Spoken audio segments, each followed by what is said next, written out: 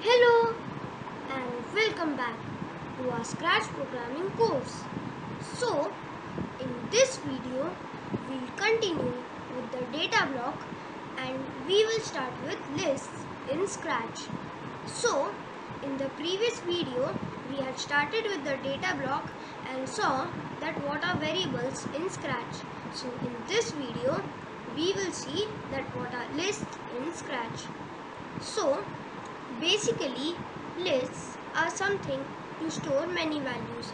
So as you all know that in variables we can store only one value but in lists we can store more than one value. That is why they are known as lists. So like as variables we can also create our own list. So to create our own list we have to click on this button which is make a list. So as you all can see this pop-up will appear and it will ask me the name of the list and also two options which are for all sprites and for this sprite only. And for all sprites as you all know that it makes a public list and for this sprite only will make it a private list. So for now I will choose for all sprites and I will give the list name as fruits. So can you all see I have created a list and can you all see here empty is written in brackets and here it is written length 0 because we have not put any item in this list. So as you can see after I created this list these blocks appeared. So these are the blocks which are used to manipulate this list. So the first block is add to fruits. So this is a drop down where you can choose the list. So currently I have only one list. So add thing to fruits. So this is basically used to add an item to the list. So the default item is thing. So I click so if I click on this block, can you all see here one item is added to this list which is thing. And I can also change this. Suppose I add orange and if I click here can you all see we have an item 2 which is orange. And also it changed here. Can you all see where my cursor it cursor is it is given length 2 so the second block is delete one of fruits so this is a list. So basically this block is used to delete a specific element from the list. So if I click on this drop down arrow beside to this one written. Can you all see? We have three options which is delete one means the first element last means the last element and all means we have to make the list empty and delete all the elements. So if I choose here one and if I click this can you all see that things item is deleted and now we have only one item. And now if I add two three items here and I add one item which is water melon. And now we can also change this number. Suppose I want to delete the seventh element which is this watermelon that I just added now. And if I click this can you all see that element is deleted? So now this is last. So it will delete the last element which is this sixth element and when I choose all elements then it will make the list empty and it will delete all the elements of the list. So the next block is insert thing at one of fruits. So this block is basically used to insert an element at a specific position of a list. So here the list is stored as fruits and now let's see insert thing at one. It means that it will insert the element as thing at the first position. So if I click this block, can you all see? Here we have one element which is thing at the first position. And first what I will do, I'll add many things here. So we have five elements and now we can, I can also change the number and this value. Suppose I want to insert orange at element, we have options here which is 1 means the first last at the last element and this is random it will place anywhere. So if I choose random and if I click this can you see randomly it has placed the element between this on the fourth element and if I can also change the number suppose I cho choose at 2 so can you see it was placed at 2 and the element which was at the second element which was this thing it became the third element.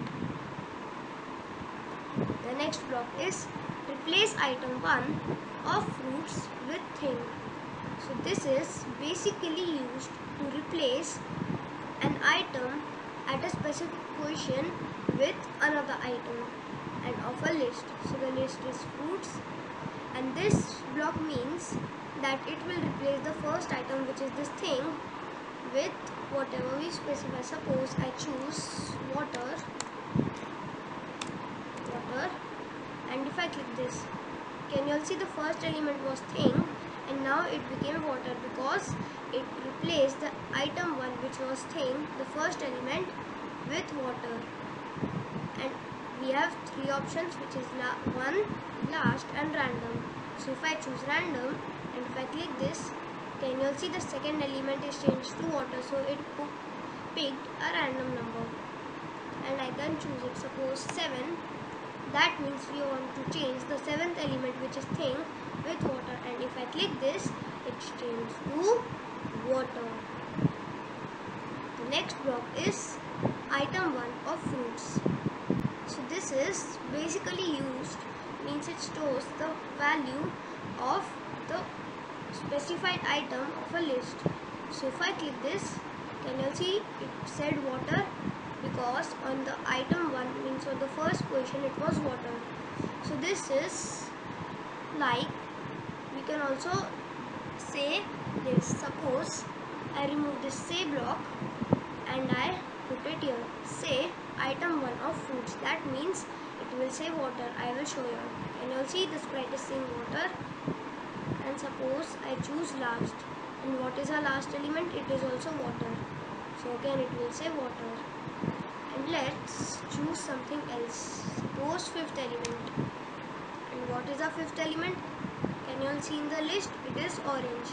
So our sprite will say orange. So the next block is length of fruits that means it will tell us the length of the list. So can you all see here? It is written length and 7 so that means if I say length of fruits then can you all see it is saying 7 the next block is fruits contains thing. So this is something like a boolean block. And what is boolean block? It is a block that when we run it it returns two values true or false so this this block is basically used to ask a question that if fruits, list fruits contains a item named thing.